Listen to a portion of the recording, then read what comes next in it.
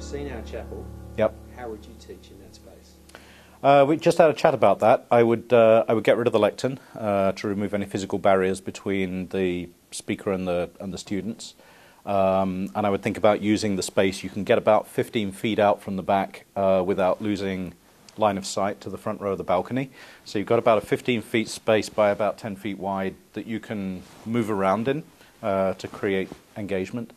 Uh, I think about using visuals. Uh, if you can find an image uh, or a short video clip or something that, um, you know, avoid cheesy Christian art, but uh, something that's thought-provoking and indirectly connected to what you're talking about so that the students' minds are going, wait a minute, why is that picture there? And are starting to figure out connections. Again, I'm looking for active cognitive engagement.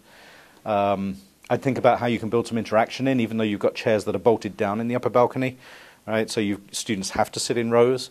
Um, something as simple as passing the peace every chapel and making sure that students understand what passing the peace means, right? That we we shake hands because with our right hand because it's our dagger hand, and so by shaking hands and, and wishing you the peace of Christ, I'm essentially promising not to attack you today.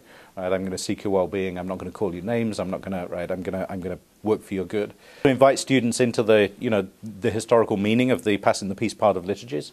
Uh, and to again, if they could, they can be consciously invited into what that means. Twenty seconds of doing that every day again could set a norm. Um, or if there's a talk, you know, pause five minutes in and have 30 seconds for turn and tell the person next to you one thing you just heard that you hadn't thought of before. Again, it's a way of if students are anticipating that kind of interaction, it's a way of creating cognitive engagement.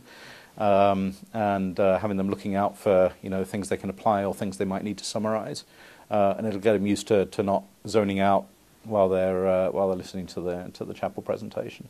So you Yeah. mentioned liturgies. How important Mhm. are liturgies to you? Um, I think liturgies, uh, you know, I mean, liturgies like everything, they can they can cut both ways. They can become they can become a stultifying thing, right? That you just go through the motions, etc.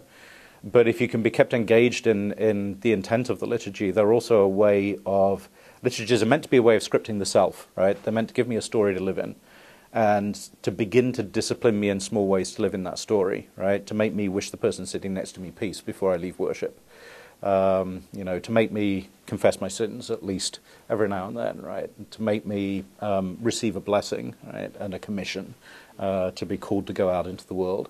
Uh, those to me are really important moments, and I think the, the, the repertoire that builds up through liturgy. Um, uh, I, I was part of a church for about 15 years where there was a simple practice at the end of the church service. We would always finish with a blessing, the Lord bless you and keep you and make his face shine upon you. And we'd be invited to just to stand and extend our hands.